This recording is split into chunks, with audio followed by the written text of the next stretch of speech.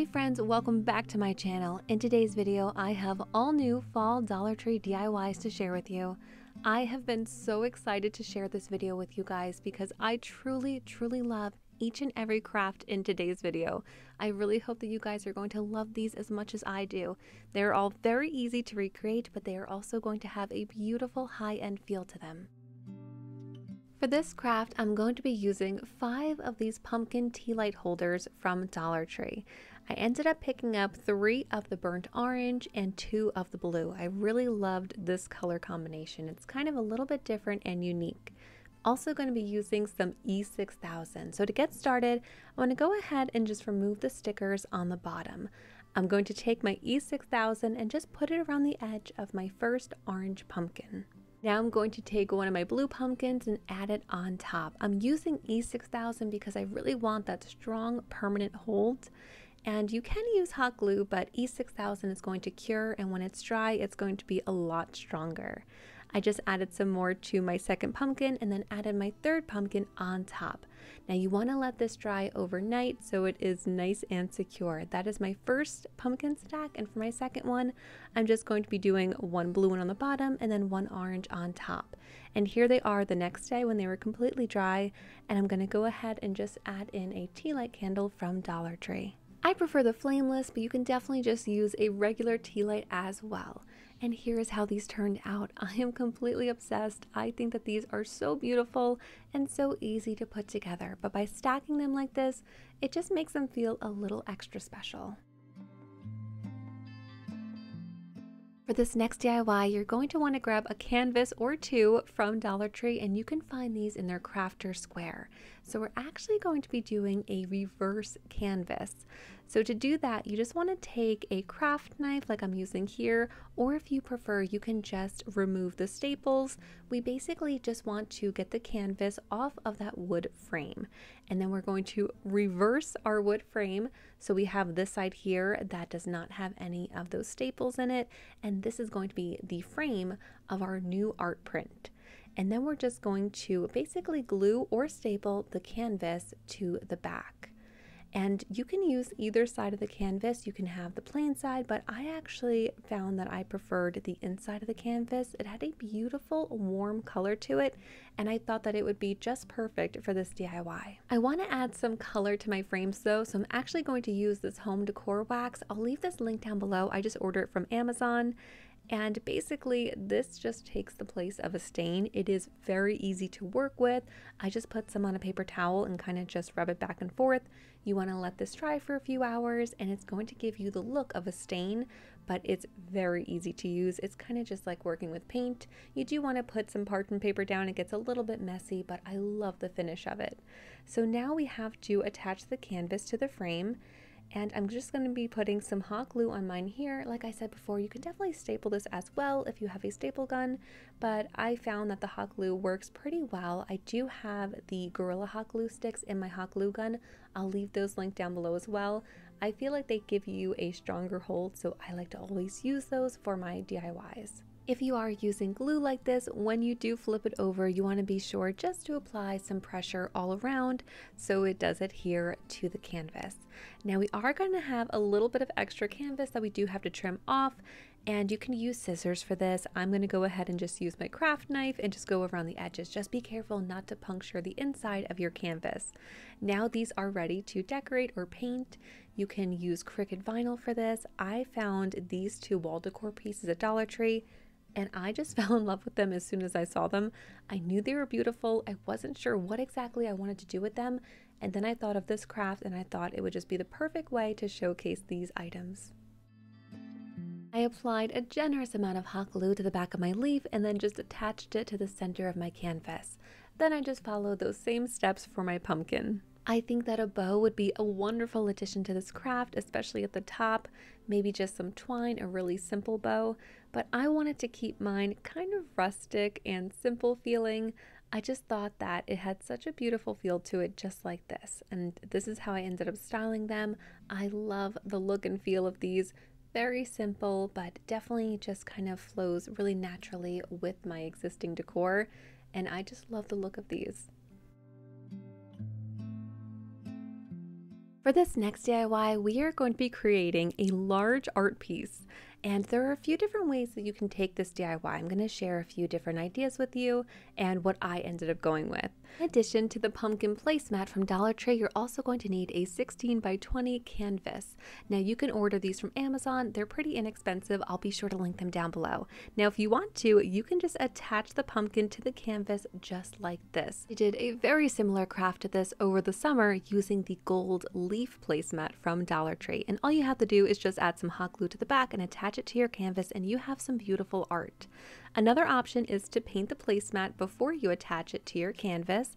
And the third option is to do what I'm doing today and actually just use the pumpkin as a stencil. So, what I wanted to do was kind of just make a really fun and abstract pumpkin print. And you're going to see it's definitely a work in progress along the way. It's going to look a little bit worse before it looks better. So what I just did was take a sponge paintbrush here and just mix a bunch of different fall colors. I really loved the blue this year for fall. I thought it was so beautiful and it kind of just mimicked the blue in the first DIY that we created with the candle holders. And then once I painted all around, I just went ahead and filled in some of those spots. Then I took a paper towel and just went over everything to add a little bit more texture and color. And now we're going to go ahead and just remove our stencil. And remember, I said abstract, so it's not going to look perfect here. We do see the outline of the pumpkin, but what I really love about this is you're going to have a lot of varying colors and textures. And now just to define it a little bit more, I'm going to go ahead and just get some gold puffy paint. Really going to define the shape of the pumpkin, but also it's just going to give some really fun gold accents along the way. So first I started by just going around the edge of my pumpkin just to give it that definition. And then I went into the painting and just started to play around with it. I outlined some of those larger ovals that we created with the paint. I just went ahead and filled in little areas that I thought needed a pop of gold. And I really do like the look of abstract paintings. I have one hanging in my living room all the time above my console table. If you prefer something a little bit more traditional, definitely think about just adhering the placemat to the canvas like I did with the gold leaf print because that truly does look gorgeous. And if you don't love that bright orange color, like I mentioned before, you can definitely paint it beforehand. Spray paint would be a great option, but you can definitely just hand paint it as well beforehand, any color you like, and then let it dry and attach it to the canvas using hot glue. My final step was just adding some puffy paint to the center to define the curves of the pumpkin, and here is how it turned out. This is perfect just like this, but if you do want to add a frame, they actually are very inexpensive on Amazon. There are some wonderful options. I picked up this one here for around $16, which is a really good price for a frame. It's very easy to attach it to the canvas. You actually just use Velcro. It is super simple. It comes with the directions, and I will be sure to link everything down below in the video description box as well as in the comments.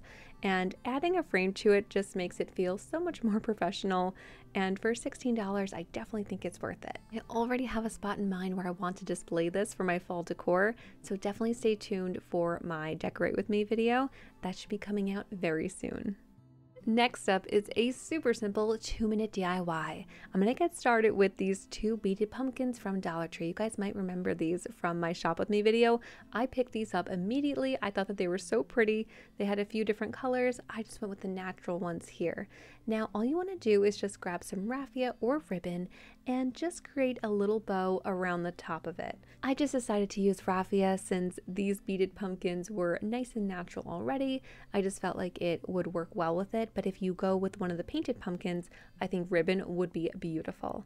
Next up, we're just going to need some flameless candles from Dollar Tree, and these come in a two pack. You can find these in their candle department and just turn on your tea light and add it to the center of your pumpkin. It is that easy. These are so cute. In just a couple of minutes, we have transformed these pumpkins into little light up decor pieces.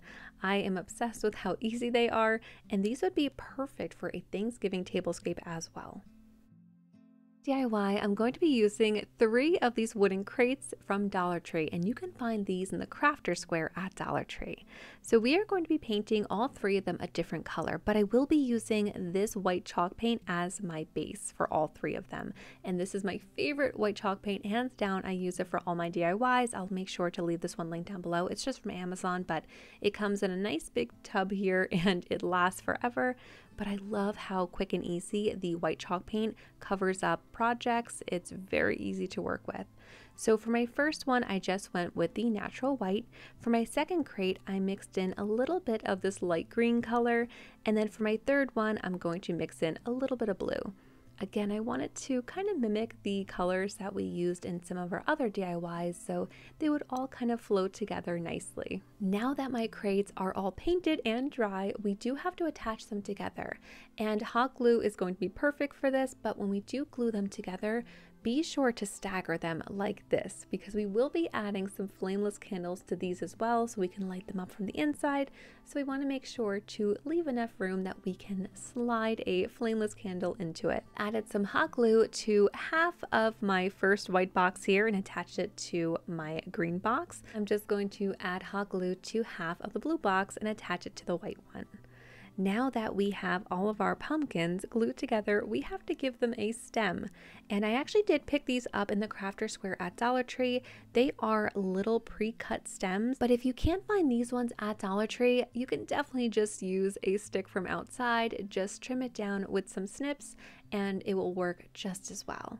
So I'm just going to pick out three stems and hot glue them to the top of each box. To finish it off, I'm just going to take some raffia and just wrap it around each stem and then go ahead and trim it. If you want to add some leaves, I think that would be beautiful as well. You can just pick up some faux leaves at Dollar Tree in their floral department and hot glue those to your stems as well.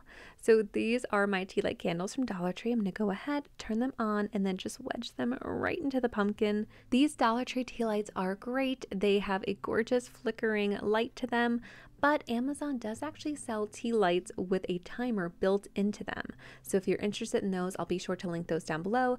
That way you just turn them on once and they're on for six hours, and then turn off for 18. That way you don't have to do it manually every single time. You just do it once and kind of just forget about it for the rest of the season, which is really nice. And these really become magical once it starts to get a little bit darker outside. You can see them light up and flicker and they just have a really beautiful glow. And that is everything for today. I really hope that you guys enjoyed these fall Dollar Tree DIYs. If you did, please give this video a thumbs up. Be sure to share it with a friend and subscribe to my channel. It really helps my channel and it lets me know that you are enjoying the video. Thank you so much for watching. To subscribe to my channel, you can just click on my picture right here.